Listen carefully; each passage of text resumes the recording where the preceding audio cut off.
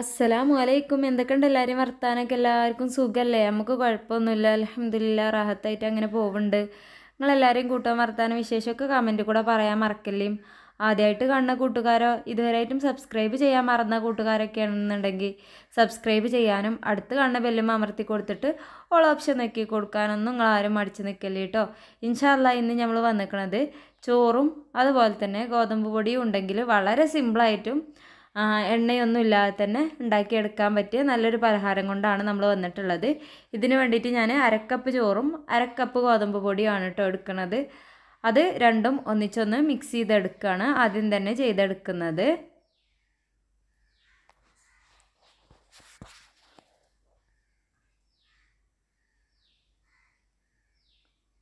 ഇത് രണ്ടും ഇതാ നമ്മൾ നല്ലപോലെ ഒന്ന് മിക്സ് ചെയ്തെടുത്തിട്ടുണ്ട്. ഇനി നമുക്ക് ഇതിക്ക് ആവശ്യത്തിനുള്ള ഉപ്പ് ചേർത്ത് കൊടുക്കണം.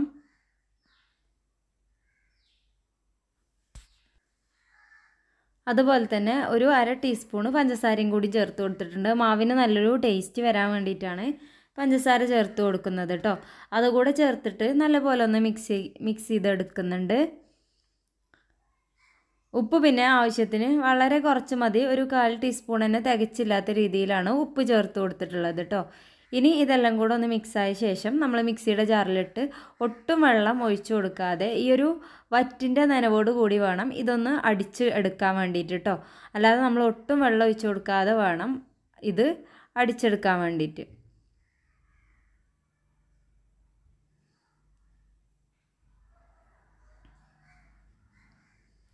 ഇനി ഇത് ഒരു രണ്ട് മൂന്ന് തവണ ഇങ്ങനെ നിർത്തി നിർത്തി കറക്കുമ്പോൾ നമുക്ക് നല്ലപോലെ ഒന്ന് കിട്ടും. ഇതാ ഏകദേശം ഈ ഒരു പരുവത്തിൽ നമുക്കിത് ആയി കിട്ടിയിട്ടുണ്ട് കേട്ടോ ഇനി നമുക്ക് ഇതിക്ക് വേണ്ടത് ഒരു ക്യാരറ്റാണ് ക്യാരറ്റ് ഉണ്ട് എങ്കിൽ മാത്രം ക്യാരറ്റ് യൂസ് ചെയ്യുക. അല്ലാന്നുണ്ടെങ്കിൽ നിങ്ങളെ കയ്യിലുള്ള പച്ചക്കറി ഏതാണോ നിങ്ങൾക്ക് ഇതിലേക്ക് യൂസ് ചെയ്യാൻ ഇഷ്ടം അത് ഉപയോഗിക്കുക. ബീട്രൂട്ട് ക്യാരറ്റ് ഒക്കെയാണ് ഇതിലേക്ക് ഏറ്റവും അനുയോജ്യമായിട്ടുള്ള പച്ചക്കറികൾ കേട്ടോ അതിലേതുണ്ടെങ്കിലും നിങ്ങൾക്ക് ഉപയോഗിക്കാവുന്നതാണ്. ഇതാ ഒരു ക്യാരറ്റ് മുഴുവനായിട്ടും നമ്മൾ നല്ലപോലെ ഒന്ന് ഗ്രേറ്റ് ചെയ്തിട്ടാണ് ഇതിലേക്ക് ഇട്ട് കൊടുത്തിട്ടുള്ളത് കേട്ടോ കണ്ടോ? നല്ലപോലെ ഗ്രേറ്റ് ചെയ്താൽ നമുക്കിത് ഇങ്ങനെ നല്ല പീസ് പീസായി കിടക്കാതെ നല്ലപോലെ ആ ഒരു മാവിലത് ചേർന്ന് നിൽക്കും അതുകൊണ്ടാണ് നമ്മൾ ഈ ഒരു രൂപത്തിൽ ഇത് ഗ്രേറ്റ് ചെയ്തെടുക്കുന്നത്. ഗ്രേറ്റർ ഒന്നും ഇല്ല എങ്കിൽ നമ്മൾ ജസ്റ്റ് ചെറിയ പീസസ് ആക്കിയിട്ട് മിക്സിയുടെ ജാറിൽ ഇതുപോലെ തന്നെ ഒട്ടും വെള്ളം ഒഴിക്കാതെ നമ്മൾ തേങ്ങ ചിരവി എടുക്കാൻ വേണ്ടിയിട്ട് ചെയ്യുമല്ലോ ക്രഷ് ചെയ്തെടുക്കണ പോലെ ഒന്ന് ആക്കിയെടുത്താൽ തന്നെ നമുക്ക് നല്ല രീതിക്ക് ഈ ഒരു പരുവത്തിലായി കിട്ടും കേട്ടോ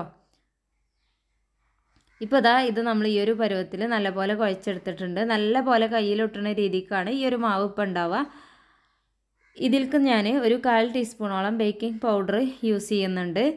ഒപ്പം തന്നെ ഒരു പിഞ്ച് ബേക്കിംഗ് സോഡ കൂടി യൂസ് ചെയ്യുന്നുണ്ട് കേട്ടോ അത് അത്രേ യൂസ് ചെയ്യുന്നുള്ളൂ. അത്രയും വളരെ കുറച്ച് മാത്രമേ യൂസ് ചെയ്യുന്നുള്ളൂ കേട്ടോ ഇനി അതുകൂടെ നല്ലപോലെ ഇതിലൊന്ന് മിക്സ് ചെയ്തെടുക്കാം.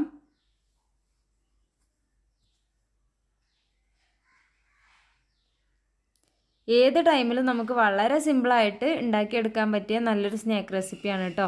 അപ്പോൾ നമ്മൾ രാവിലെ ആണെങ്കിലും വൈകുന്നേരത്താണെങ്കിലൊക്കെ വളരെ പെട്ടെന്ന് നമുക്ക് റെഡിയാക്കി എടുക്കാൻ പറ്റും. ഒത്തിരി ഐറ്റംസും കാര്യങ്ങളൊന്നും ഇല്ലാതെ തന്നെ ഈ ഒരു സ്നാക്ക് വളരെ ടേസ്റ്റോട് കൂടി നമുക്ക് കഴിക്കാൻ വേണ്ടിയിട്ട് പറ്റണ ഒരു പലഹാരമാണ് കേട്ടോ. അപ്പോൾ അത് നല്ലപോലെ നമ്മൾ ബേക്കിംഗ് പൗഡറും ബേക്കിംഗ് സോഡയും ഇട്ട് കഴിഞ്ഞാൽ നല്ലപോലെ മിക്സ് ചെയ്തെടുക്കണം. എങ്കിൽ മാത്രമേ അത് എല്ലായിടത്തും ഒരുപോലെ ആയി കിട്ടുള്ളൂ കേട്ടോ.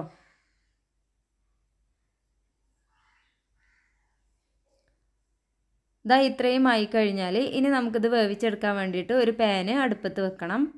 ഇതാ അപ്പോൾ നമ്മൾ പാൻ അടുപ്പത്ത് വെച്ചിട്ട് ജസ്റ്റ് ബ്രഷിൽ ജസ്റ്റ് ഒരു നെയ്യിലൊന്ന് മുക്കിയിട്ട് ഒന്നാക്കി കൊടുക്കുക.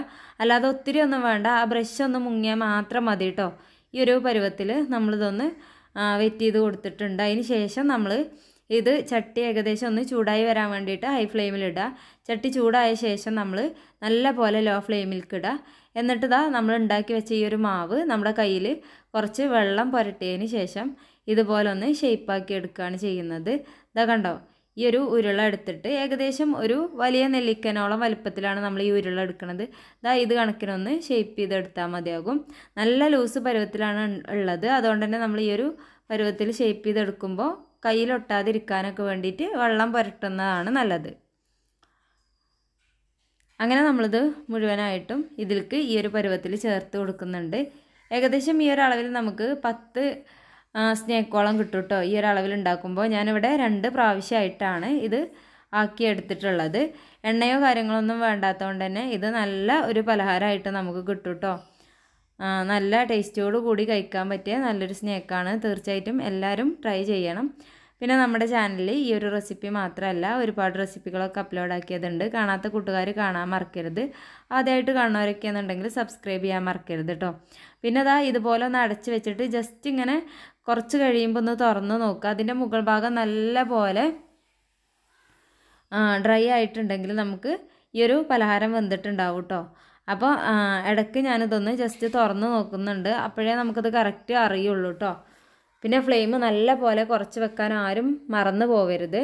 ഇതാ കണ്ടോ ഇപ്പോൾ ഏകദേശം നമുക്കിതായിട്ടുണ്ട് നമ്മൾ കൈ വെച്ചിട്ട് തൊടുമ്പോൾ തന്നെ നമുക്കറിയാം നല്ല സോഫ്റ്റാണ് അപ്പോൾ ഇതാ ഇത് ജസ്റ്റ് ഒന്ന് ആ മുകൾ ഭാഗം കൂടി ജസ്റ്റ് ഒന്ന് മറിച്ചിട്ട് കൊടുക്കുക കേട്ടോ മുകൾ ഭാഗം വെന്തിട്ടുണ്ടെങ്കിൽ പോലും ഇതൊന്ന് ജസ്റ്റ് ഒന്ന് മറിച്ചിട്ട് കൊടുക്കുക ഇതാ ഈ ഒരു പരുവത്തിൽ നമുക്കൊന്ന് മറിച്ചിട്ട് കൊടുക്കാം.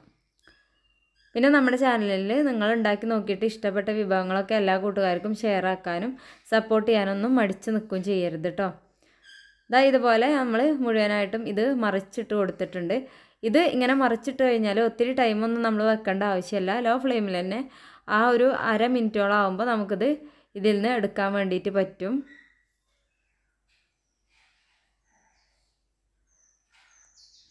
ഇത് അത്രയായാൽ മതി. ഇതാ ജസ്റ്റ് നമ്മൾ മറിച്ചിടുമ്പോഴേക്ക് തന്നെ അതിന്റെ ആ ഒരു പുറഭാഗം ഇതുപോലെ ചെറിയൊരു ഇതായിട്ട് വരും. ഒരു ബ്രൗൺ കളറായിട്ട് വരും. ഇതാ ഇത്രയും ആയാൽ മതി.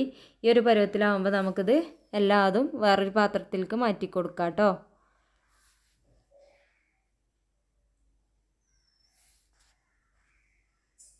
കാണാൻ തന്നെ നല്ല ഭംഗിയാണ്. കാണുന്ന പോലെ തന്നെയാണ് കഴിക്കാനും. നല്ല ടേസ്റ്റാണ് കേട്ടോ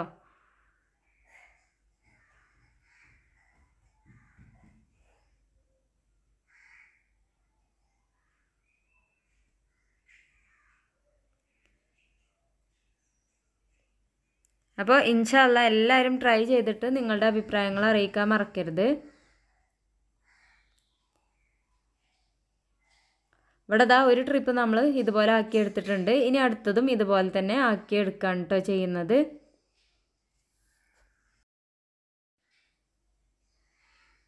അപ്പോൾ ദാ ഇന്നത്തെ വീഡിയോ ഇത്ര തന്നെ ഉള്ളൂ. ഉൾഭാഗം നല്ല സോഫ്റ്റാണ് ഞാനൊന്ന് പൊട്ടിച്ച് കാണിച്ചു തരുന്നുണ്ട്.